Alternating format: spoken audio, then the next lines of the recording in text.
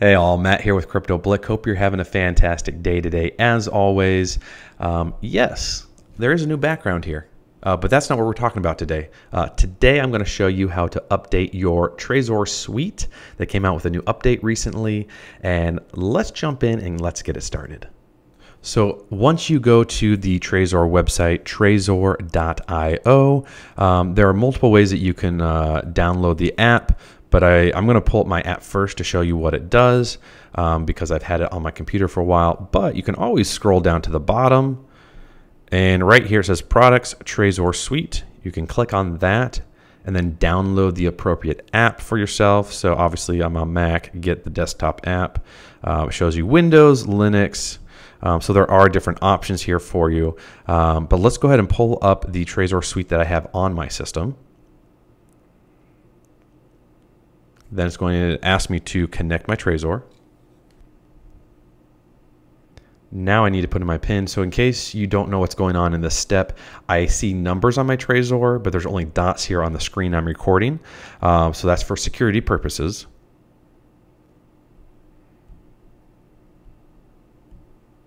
Enter pin. All right, so then as you can see, it says new Trezor firmware is available. Please update your device. So update now. Update available, and then it gives you, you know, just information on what's all within that update. Click continue. Yes, I do have my recovery seed. Continue. Disconnect your Trezor. All right. You're then going to plug in your Trezor again. Hold both buttons down to load it in boot loader mode. One thing you need to know is make sure to have the cable plugged in first, hold down the two buttons, then stick the other cable into your Mac or your Windows unit um, because otherwise it will think you're wanting to lock your Trezor instead of loading in bootloader mode. Okay, so make sure the buttons are pressed before you plug it back in and install firmware. All right. Now, instructions on the screen say install new firmware. Never do this without your recovery card. Continue. From here, it's telling me that my firmware is successfully installed. You may now unplug your Trezor. Okay. It's unplugged. Reconnect. Because we're starting it from the beginning again. And when you reconnect your device, do you realize it may, because it did it does this for me, uh, it may show you that, hey, disconnect the device to restart it. It may show that screen again. It's okay. Unplug the cable, stick it back in. You might have to actually unplug the cable, not from the computer, but from your device. Just do what you need to do to make it happen, but then you'll get this success screen. Click close. Fantastic. All right. And let's check and make sure that uh, the system is updated here. And then you can go here, scroll to the bottom, and you can see that your suite version is 21.5.1.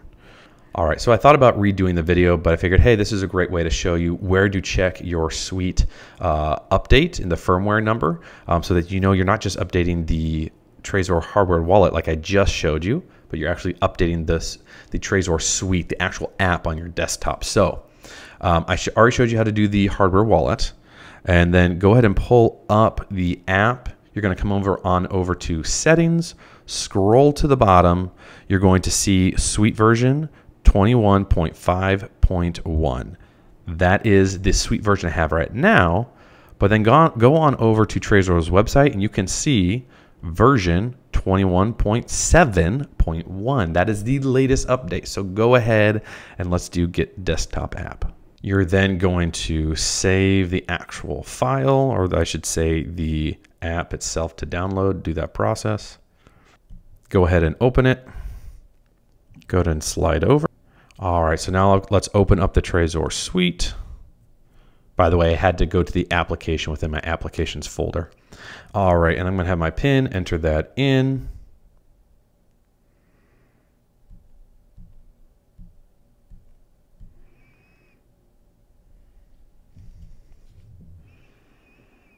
All right, so it is now updated, but as I mentioned before, let's check, go to settings, Uh, let's go to application, scroll to the bottom. There we go. Suite version 21.7.1. And we can even check for an update.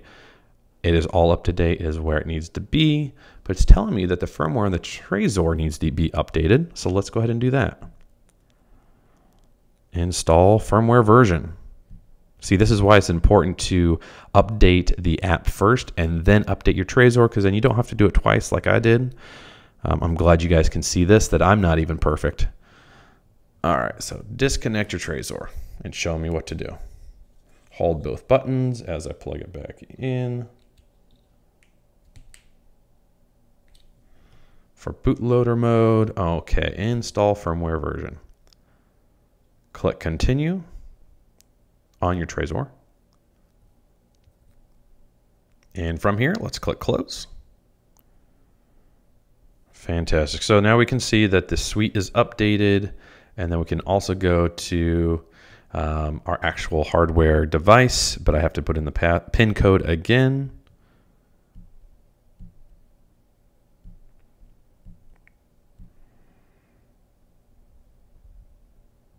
And there we go. Everything is updated.